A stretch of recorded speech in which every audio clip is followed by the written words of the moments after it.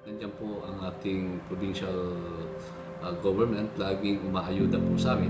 Sa kampanya po namin sa droga uh, on monthly basis po meron po kaming uh, fund support na ibinibigay ang opisina ng ating gobernador sa ating mga chief police sa, sa aking opisina hindi lang po nagtatapos sa kanong suporta pati po dito sa rehabilitation centers natin sa 13 reformation centers po natin hindi natin ito maipapagawa at hindi magiging functional kundi po sa direktang suporta ng provincial government. At uh, without them hindi po magiging successful hindi po magiging hindi po namin maipapatupad lahat po ng proyekto namin na direkta konektado sa maintenance ng peace and order dito sa lalawigan ng Bataan. One Bataan works for PNP